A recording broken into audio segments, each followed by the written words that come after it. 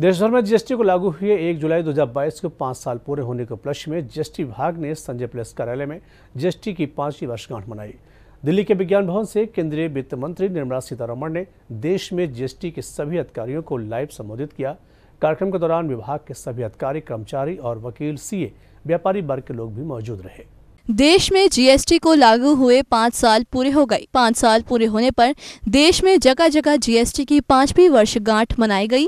आगरा में भी सीजीएसटी विभाग ने जीएसटी की पांचवी वर्षगांठ मनाई। कार्यक्रम की शुरुआत अधिकारियों ने माँ सरस्वती को माला पहना और दीप प्रज्वलित कर किया। देखिए जीएसटी डे आज के पाँचवीं वर्षगांठ मना रहे हैं और जो किसी भी सुधार या रिफॉर्म को उसको, उसके बारे में पूरी तरह उसको निर्णय लेने के लिए पाँच साल का जो समय होता है, वो बहुत ही बड़ा समय होता है।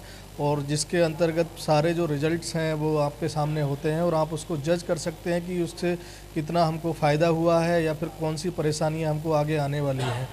आज हमने जीएसटी का पाँचवीं वर्षगांठ का आयोजन किया, जो हमने अपने सभागार में आयोजित किया। इसमें हमने सी एसोसिएशन और दूसरे व्यापार मंडल वगैरह से लोगों का इनवाइट किया था।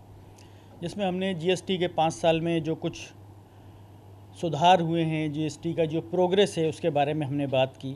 उसके अलावा मेन प्रोग्राम हमारा विज्ञान भवन दिल्ली से सीधे टेलीकास्ट हो रहा था, जिसमें बहुत सारे प्रेजेंटेशन पीपीटी वगैरह दिखाए गए और निर्मला सीतारमन जी फाइनेंस मिनिस्टर ने देश को संबोधित किया।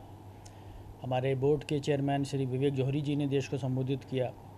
और जीएसटी के में जो इस टाइम प्रेजेंट में जो चल रहा है और भविष्य में जो जीएसटी में जो संभावना है उसके बारे में चर्चा की। इस तरह एक बहुत सफल प्रोग्राम था, बहुत अच्छा प्रोग्राम हुआ। उम्मीद है जीएसटी हमारा जिस तरह से प्रोग्रेस कर रहा है, जिस तरह से जीएसटी से हमारे देश का रेवेन्यू बढ़ रहा है और हमारा हर महीने कलेक्शन बेहतर से बेहतर हो रहा है, हमारी इकोनॉमी ग्रोथ कर रही है तो आशा करते हैं कि जीएसटी देश के विकास में अपना बहुमूल्य योगदान देता रहेगा देश में जीएसटी जब लागू हुआ तो उस समय देश में कई जगहों पर अलग अलग टैक्स थे। लेकिन जीएसटी के लागू होने के बाद व्यापारियों को सिर्फ़ दो जगह ही टैक्स देना पड़ रहा है। अधिकारियों का कहना है कि जीएसटी लागू होने से पहले टैक्स कलेक्शन काफ़ी कम था लेकिन अब टैक्स कलेक्शन काफ़ी बढ़ गया है। नमस्कार सभी को जीएसटी दिवस के पाँचवीं वर्षगांठ की बहुत बहुत शुभकामनाएँ। मैं रेशम द्विवेदी उपायुक्त, केंद्रीय माल एवं सेवा कर तथा केंद्रीय उत्पाद शुल्क आगरा में पदस्थ हूँ। आज जीएसटी के लागू होने की पाँचवीं वर्षगांठ हमने अपने आयुक्तालय में जो सभागार है, वहाँ पर सभी टैक्स पेयर्स को विभिन्न एसोसिएशन के रिप्रेजेंटेटिव्स को जो हमारे टैक्स रिप्रेजेंटेटिव्स हैं टैक्स कंसल्टेंट्स हैं, उन सभी को बुलाकर और हमारे जो अधिकारीगण हैं हमारे अपर आयुक्त महोदय, उपायुक्त महोदय और विभिन्न कर्मचारीगण, उन सभी के साथ नई दिल्ली विज्ञान भवन में होने वाले माननीय वित्त मंत्री महोदया के अध्यक्षता में जो वहाँ प्रोग्राम हुआ है आज, उसका सीधा प्रसारण किया। साथ ही हमने अपने जो भी टैक्स पर्सनस आए हैं, उनके साथ चर्चा हुई, उनसे सुझाव लिए गए, उन्हें उनकी समस्याओं का हल बताया गया।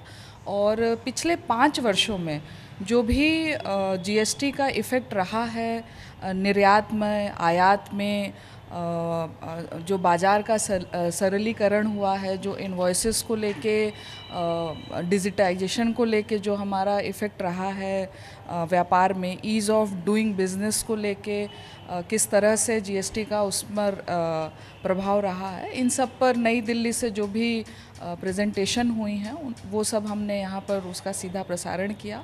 उस पर हमने चर्चाएँ की और इस तरह से आज हमने जीएसटी डे का आयोजन पूरा, सफलपूर्वक पूरा किया।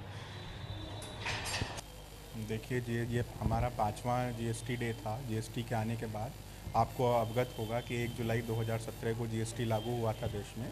और जीएसटी ने बहुत ही एक टैक्स रिजीम के हिसाब से देखा जाए तो कि पाँच साल बहुत ही कम पीरियड होता है, बहुत ही छोटा पीरियड होता है। लेकिन जीएसटी के क्षेत्र में हमने बहुत ही उत्तरोत्तर तरक्की की है और जीएसटी टैक्स बहुत जल्दी स्टेबलाइज हुआ है। यदि हम सेंट्रल एक्साइज या सर्विस टैक्स या वैट की बात करें तो इन टैक्सों को स्टेबलाइज होने में कई साल लग गए थे। लेकिन जीएसटी ने अपने आप को बहुत जल्दी स्टेबलाइज किया है और आज ये पाँच साल पूरे हो गए हैं जीएसटी को लागू हुए।